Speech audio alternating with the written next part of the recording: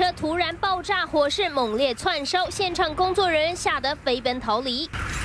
俄罗斯城市车里亚宾斯克十七号，两辆油罐车分别承载三万公升燃料，不料在储油厂加油的过程中突然发生爆炸，火焰瞬间吞噬整座工厂，车体残骸也被炸飞，甚至波及旁边另一辆油罐车。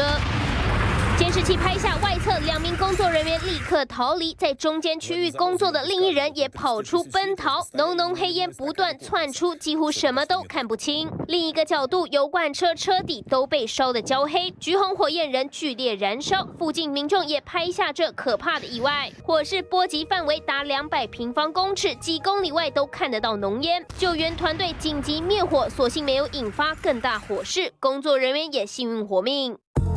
可怕的大火意外不止在储油厂发生，家中厨房也可能出现。国外两名女子在厨房煮饭，突然瓦斯气爆，瞬间火焰喷出，气爆威力把人震飞倒地，甚至把火炉弹离原本位置。一旁冰箱的门也被震开，厨房物品散落一地。两名女子跌落在地后，吓得立刻起身逃跑。这时还看到残余火花在火炉上燃烧，画面险象环生。惊险意外能活命，真是不幸中的大幸。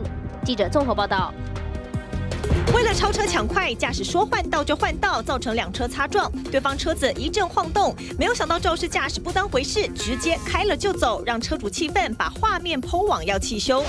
北台湾连日飘雨，让外送业者忙翻，板桥有外送员。跟货车并行，结果遭到货车驾驶因为视线死角撞翻，人倒在路上，食物跟着泡汤。不满别人的机车停得太歪，有骑士拿大锁锁住对方车辆，被提告强制罪。但检察官认为强制罪对人不对物，锁车时车主不在场，不构成对人施以暴力，因此做出不起诉的处分。